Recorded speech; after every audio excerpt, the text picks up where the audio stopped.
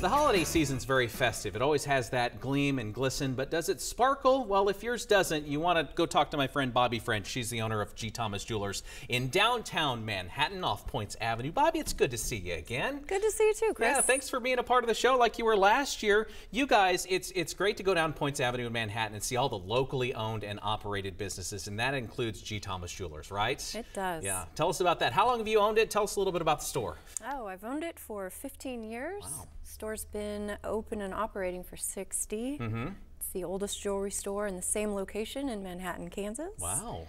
Um, and our downtown is just like a holiday movie. It's, Mm-hmm. it's beautiful and it is mostly locally owned shops. Yeah. And I you guys it. are full services, right? So you do all of the sales out front, but in back, you've got a couple hardworking folks back there making creative and custom jewelry, right? We do. Tell us about that. We've got an elf back there.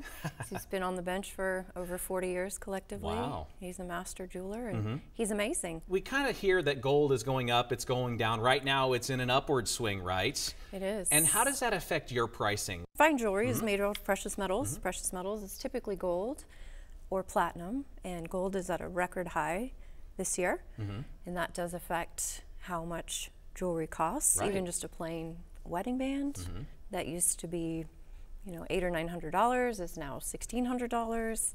And gold's projected to go even higher before the holiday season. What we do, it doesn't affect our pricing. So we've done all of our uh, purchases for Christmas, all the holiday um, inventory has been in the case since October when gold was roughly 1700 mm-hmm. so now it's already more valuable just sitting there. And real quickly, let's talk about how K State affects your business. Of course, when the school's doing great, we're all excited because K State's going to a bowl game, but that has an impact on businesses like yours, doesn't it? it certainly does. Mm-hmm. I mean k-state's amazing in so many sports this year mm-hmm. and last year and um, the better they do the more people want to follow them the more we want to go to bowl games things like that which is amazing and we should always support the university um, but some people tend to kind of forget about their local businesses that um, survive off the holiday sales. and- right. yeah, so if we could do both, win K State games and shop, that'd be awesome. Yeah, don't do your shopping out of state. Do your shopping if you're from Manhattan or Kansas.